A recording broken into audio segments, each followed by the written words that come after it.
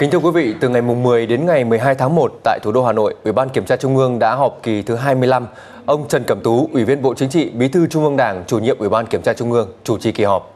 Tại kỳ họp này, Ủy ban Kiểm tra Trung ương đã xem xét kết luận một số nội dung. Thực hiện kết luận của Ủy ban Kiểm tra Trung ương tại kỳ họp thứ 24 về tiếp tục xem xét xử lý trách nhiệm một số tổ chức đảng, đảng viên. Căn cứ quy định của Đảng, Ủy ban Kiểm tra Trung ương quyết định thi hành kỷ luật cảnh cáo Ban Thường vụ Đảng ủy Văn phòng Chính phủ và Ban Thường vụ Đảng ủy Cục Quản lý xuất nhập cảnh Bộ Công an. Ủy ban Kiểm tra Trung ương đề nghị Ban Bí thư xem xét thi hành kỷ luật ông Mai Tiến Dũng, nguyên Ủy viên Trung ương Đảng, nguyên Bí thư Đảng ủy, nguyên Bộ trưởng Chủ nhiệm Văn phòng Chính phủ.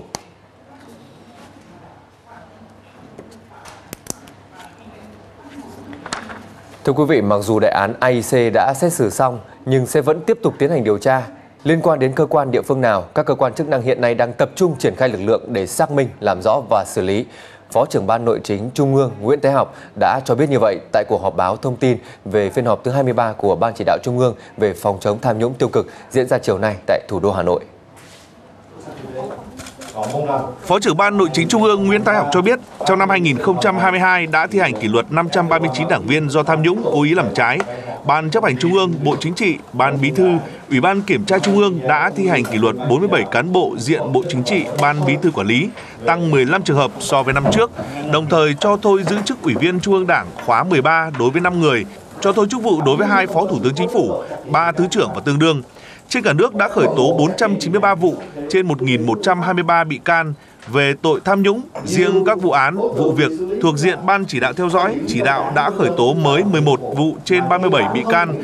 khởi tố bổ sung 120 bị can trong 22 vụ án. Các cơ quan tiến hành tố tụng đã tạm giữ kê biên phong tỏa tài sản,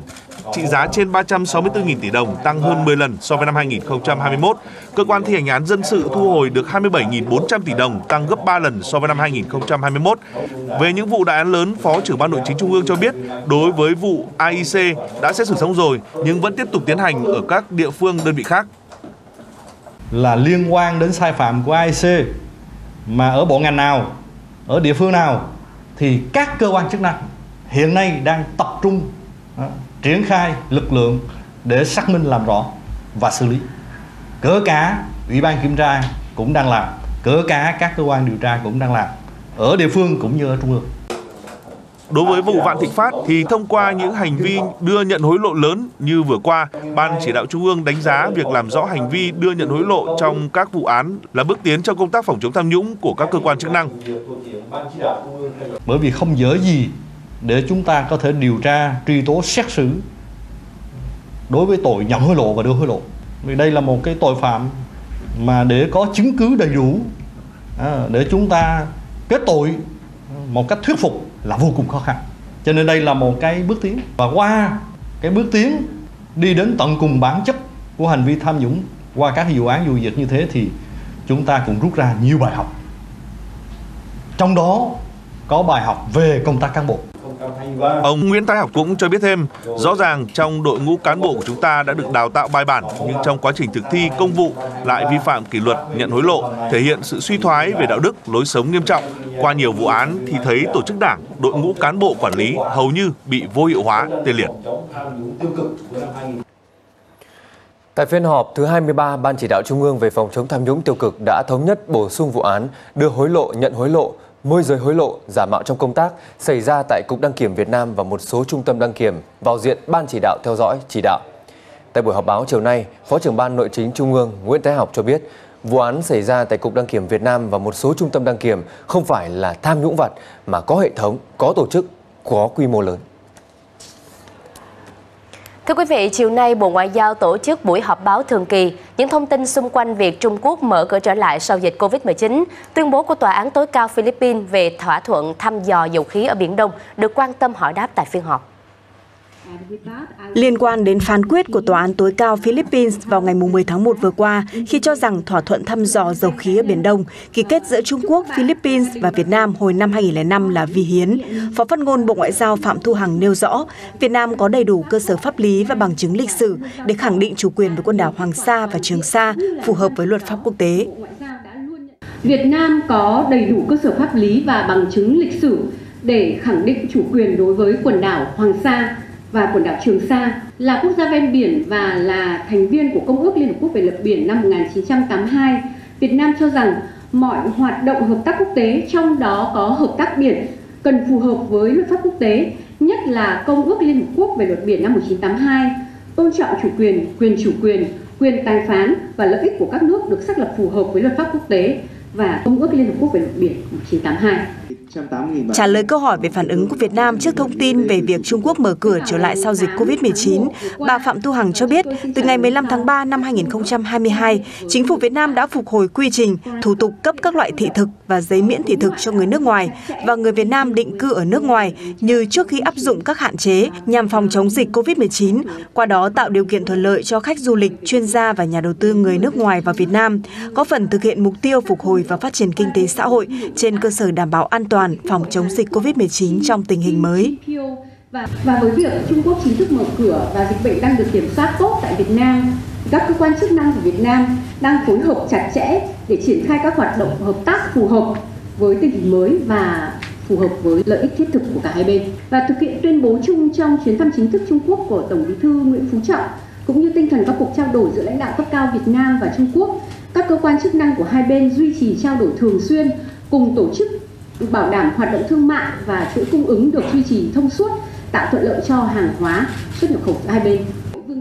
Được biết, trong dịp Tết Nguyên đán, nhiều cửa khẩu Trung Quốc sẽ mở áp dụng nhiều biện pháp tạo thuận lợi thông quan, trong đó có thông quan hẹn trước. Các địa phương, đặc biệt là các doanh nghiệp trong nước, cần chủ động nắm thông tin để phối hợp với các đối tác Trung Quốc xây dựng kế hoạch vận chuyển và thông quan hàng hóa sau khi Trung Quốc mở cửa. Tiếp ông John Newfer, Chủ tịch kiêm Giám đốc điều hành Hiệp hội Công nghiệp bán dẫn Hoa Kỳ vào sáng nay tại trụ sở chính phủ, Phó Thủ tướng Lê Minh Khái đề nghị các tập đoàn doanh nghiệp thành viên của Hiệp hội mở rộng đầu tư vào Việt Nam, góp phần phát triển ngành công nghiệp bán dẫn, thúc đẩy tái cơ cấu nền kinh tế theo hướng công nghiệp, lấy công nghệ cao, công nghệ số làm nền tảng, Phó Thủ tướng Lê Minh Khái mong muốn Việt Nam sẽ tham gia tích cực hơn vào việc làm cho chiếc bánh bán dẫn ngày càng lớn, đề nghị Hiệp hội tư vấn phát triển ngành công nghiệp bán dẫn và giới thiệu về môi trường đầu tư của Việt Nam để thu hút các doanh nghiệp Hoa Kỳ đầu tư, đồng thời hỗ trợ chuyển giao công nghệ giúp Việt Nam có doanh nghiệp có đủ khả năng thiết kế sản xuất sản phẩm bán dẫn. Cảm ơn Phó Thủ tướng đã dành thời gian tiếp. Ông John chia sẻ, Việt Nam với những nguồn lực rất tích cực về đóng góp vai trò ngày càng quan trọng hơn trong chuỗi sản xuất bán dẫn toàn cầu của Hoa Kỳ trong thời gian tới. Trong bối cảnh các quốc gia khác đang đi rất nhanh và doanh nghiệp bán dẫn Hoa Kỳ đang tìm kiếm cơ hội đầu tư vào các nước, ông John hy vọng sẽ hợp tác với chính phủ Việt Nam và giúp Việt Nam không bỏ lỡ cơ hội quan trọng này. Chiều nay tại Hà Nội, Đài Tiếng Nói Việt Nam VOV tổ chức hội nghị tổng kết công tác năm 2022, triển khai nhiệm vụ năm 2023. Trong năm 2022, Đài Tiếng Nói Việt Nam đã hoàn thành xuất sắc nhiệm vụ tuyên truyền phục vụ các sự kiện chính trị trọng đại của đất nước với nhiều chương trình được đầu tư công phu, có sức lan tỏa mạnh mẽ. Tiếp tục là một trong những cơ quan báo chí tiên phong có đóng góp tích cực, hiệu quả trong công tác tuyên truyền về phòng chống dịch COVID-19 và các giải pháp phục hồi phát triển kinh tế xã hội của đất nước. Vị đại biểu khách quý Năm 2022, Đài Tiếng Nói Việt Nam đã làm tốt nhiệm vụ tuyên truyền, thông tin chính xác, kịp thời, góp phần định hướng dư luận, tạo đồng thuận xã hội, tích cực đấu tranh, phê phán những hành vi vi phạm pháp luật, những hành vi lợi dụng kích động, xuyên tạc, xâm phạm lợi ích của nhà nước, quyền và lợi ích hợp pháp của tổ chức, công dân. Các vấn đề quốc kế dân sinh được xã hội quan tâm, không để xảy ra sai sót về chính trị. Với một cái phương châm là chúng ta phải kiên trì sau đó là phải chọn việc khó kiên trì nghe kiên trì phân tích kiên trì đánh giá kiên trì phổ biến phổ biến theo quá trình nhận thức đến hành động vì sao Nga kiên quyết nhắm mục tiêu vào thành phố Soledar của Ukraine? Việc Moscow giành quyền kiểm soát Soledar và các mỏ muối sẽ có giá trị mang tính biểu tượng, quân sự và thương mại đối với Nga. Giá trị mang tính biểu tượng Việc Nga giành được Soledar, nơi có dân số trước chiến sự chỉ hơn 10.000 người, sẽ là một thành công hiếm có đối với quân đội Moscow sau các cuộc rút lui ở phía Bắc, Đông Bắc và Nam vào năm ngoái. Nơi này nằm ở khu vực Donetsk của Ukraine mà Moscow đơn phương tuyên bố sát nhập vào tháng 9 năm 2022, mặc dù chỉ kiểm soát một phần diện tích. Việc kiểm soát hoàn toàn khu vực này được nhiều người coi là mục tiêu chính của Điện Kremlin. Nhóm lính đánh thuê Wagner đóng một vai trò nổi bật trong cuộc tấn công và người đứng đầu của họ, ông Yevgeny Prigozhin, sẽ có thể sử dụng chiến thắng này để đánh bóng uy tín tổ chức của mình ở Nga.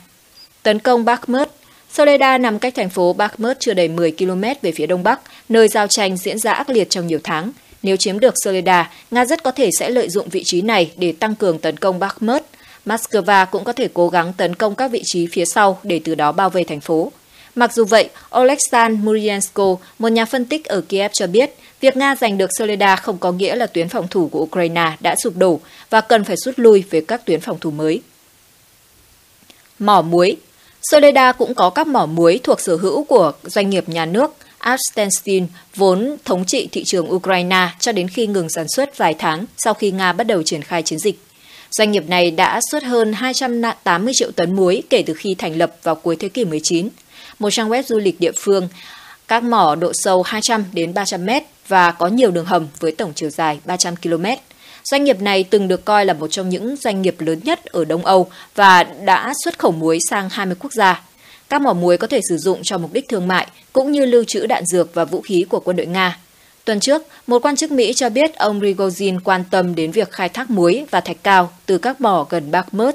Chính ông Rigozin cũng từng nói về các thành phố ngầm của Bakhmut, nhấn mạnh rằng chúng có thể chứa quân đội và xe tăng. Tướng Gerasimov, tư lệnh mới của Nga tại Ukraine là ai? Tổng thống Nga Putin ngày 11 tháng 1 đã bổ nhiệm Đại tướng Valery Gerasimov làm chỉ huy mới của chiến dịch quân sự đặc biệt của Nga tại Ukraine. Đây được coi là cuộc cải tổ lớn nhất trong các lực lượng Nga đang tham chiến tại Ukraine. Ông Gerasimov từng giữ chức Tổng tham mưu trưởng lực lượng vũ trang Nga từ năm 2012, sẽ thay thế tướng Sergei Surokin, người đã chỉ huy và giám sát chiến dịch quân sự kể từ tháng 10 năm 2022. Động thái này diễn ra trong bối cảnh Nga đang nỗ lực xoay chuyển tình hình thực địa sau nhiều tháng nỗ lực đạt được bước tiến mới trước cuộc phản công mạnh mẽ của Ukraine. Theo giới phân tích, Nga dường như đã đạt được thành tựu đáng kể nhất trên chiến trường kể từ tháng 8 năm 2022 khi giành quyền kiểm soát gần như toàn bộ thành phố chiến lược Soledar gần Bakhmut. Ông Valery Gerasimov là ai? Ông Valery Gerasimov sinh năm 1955, sinh ra ở một gia đình thuộc tầng lớp lao động ở thành phố Kazan, cách Moscow khoảng 800 km về phía đông. Ông có kiến thức sâu rộng về quân sự, từng tốt nghiệp trường quân sự Kazan Suvorov và tiếp tục được đào tạo tại Học viện Quân sự của Bộ Tổng Tham mưu Lực lượng Vũ trang Nga. Với kiến thức và kinh nghiệm dày dặn của mình, ông Gerasimov đã nhanh chóng thăng tiến lên nhiều cấp bậc khác nhau trong lực lượng Hồng quân Liên Xô, sau đó được Tổng thống Nga Vladimir Putin bổ nhiệm làm Tổng tham mưu trưởng lực lượng vũ trang Nga và Thứ trưởng thứ nhất Bộ Quốc phòng vào tháng 11 năm 2012. Theo nhiều nguồn tin, ông được cho là người sáng lập ra học thuyết Gerasimov, kết hợp các chiến thuật quân sự, công nghệ, thông tin, ngoại giao, kinh tế, văn hóa và các chiến thuật khác để đạt được mục tiêu. Đại tướng Valery Gerasimov được cho là đã cùng với Tổng thống Putin và hai người khác – Bộ trưởng Quốc phòng Shoigu, Cố vấn an ninh quốc gia Nikolai Patrushev lên kế hoạch cho chiến dịch quân sự của Nga tại Ukraine vào tháng 2 năm 2022. Việc thay thế nói lên điều gì? Theo Bộ Quốc phòng Nga, ông Gerasimov sẽ có 3 cấp phó là tướng Sergei Surovikin, từng làm chỉ huy lực lượng Nga tại Ukraine trong 3 tháng qua, cùng hai tướng khác là Oleg Salyukov và Alexei Kim. Cấu trúc mới cho thấy Nga muốn tăng cường khả năng phối hợp giữa các nhánh khác nhau của lực lượng vũ trang Ukraine. Sự thay đổi này có liên quan đến xung đột ngày một leo thang, cũng như yêu cầu phối hợp phức tạp hơn giữa quân, binh chủng của quân đội Nga tại Ukraine. Bộ Quốc phòng Nga cho biết các yêu cầu trên chiến trường đòi hỏi phải nâng cấp bộ chỉ huy tác chiến, trong khi quy mô của các nhiệm vụ chiến đấu này ngày một lớn hơn và nhu cầu hiệp đồng tác chiến nhiều hơn giữa các quân chủng và thành phần của lực lượng vũ trang. Một số nhà phân tích đánh giá, quyết định bổ nhiệm ông Gerasimov cũng có thể là nỗ lực của Bộ Quốc phòng Nga nhằm kiểm soát chặt chẽ hơn chiến dịch quân sự trước thời điểm quan trọng trong vài tháng tới. Theo đó, Nga có thể triển khai phần còn lại của lực lượng dự bị được huy động vào mùa thu năm 2022. Quân đội Ukraine dự đoán Nga sẽ tiến hành cuộc tấn công mới vào đầu mùa xuân 2023. Phát biểu với tờ The Economist, Tổng tham mưu trưởng các lực lượng vũ trang Ukraine, Đại tướng Valery Zaluny cho biết, họ, các lực lượng Nga đang chuẩn bị sẵn sàng 100% một cuộc tấn công lớn của Nga có thể xảy ra vào tháng 2 hoặc sớm nhất là vào cuối tháng 1. Trong nhận định đăng trên Twitter, ông Rob Lee tại Đại học King College London đã lưu ý quyết định nêu trên dường như tái khẳng định quan điểm của Bộ Quốc phòng trong việc giám sát chặt chẽ cuộc xung đột với Ukraine. Chiến dịch quân sự vượt ra ngoài khuôn khổ sau khi đảm nhiệm vị trí mới, ông Gerasimov sẽ chỉ huy và chịu trách nhiệm trực tiếp về toàn bộ các hoạt động trong chiến dịch quân sự đặc biệt của Nga. Bộ Quốc phòng Nga nêu rõ, Sự gia tăng cấp độ lãnh đạo của chiến dịch có liên quan đến mở rộng quy mô, nhiệm vụ và hiệu quả quản lý của lực lượng của Nga. Hồi tháng 10 năm 2022, chỉ vài ngày sau khi ông Surovikin được bổ nhiệm làm tư lệnh lực lượng tác chiến đặc biệt tại Ukraine, quân đội Nga đã báo hiệu sự thay đổi chiến lược bằng cách tung ra làn sóng tấn công bằng máy bay không người lái và tên lửa vào các mục tiêu cơ sở hạ tầng tại Ukraine. Trong thời gian ngắn, chỉ huy lực lượng các đơn vị đang chiến đấu ở Ukraine, ông Surovikin đã đạt được một số thành công như tăng cường phối hợp giữa các lực lượng và củng cố quyền kiểm soát các khu vực Nga đang nắm giữ. Nhưng ông cũng gây bất ngờ khi tuyên bố rút quân khỏi Kherson vào tháng 11 năm 2022, vốn là một trong những thành phố lớn nhất và quan trọng nhất mà Nga giành được trong cuộc xung đột. Trả lời phỏng vấn Al Jazeera, nhà phân tích chính trị Dmitry Chesnin tại Moscow lưu ý, quyết định của Nga có thể nhằm sắp xếp một cách hợp lý bộ phận chỉ huy trong chiến dịch tại Ukraine. Việc bổ nhiệm ông Gerasimov cho thấy chiến dịch quân sự ngày càng trở nên quan trọng hơn và phạm vi huy động của các lực lượng Nga có thể vượt ra ngoài những gì mà chúng ta đang chứng kiến hiện tại. Đây là sự thay đổi lớn. Theo ông Dmitry Chanin, cuộc xung đột ngày càng mở rộng và nguy hiểm hơn, vượt quá tầm kiểm soát của chỉ huy duy nhất trên chiến trường. Vì thế Nga cần có bộ máy chỉ huy mạnh mẽ hơn. Nhiệm vụ chủ yếu hiện giờ nằm trong tay của ông Valery Gerasimov, tổng tham mưu trưởng của các lực lượng vũ trang Nga.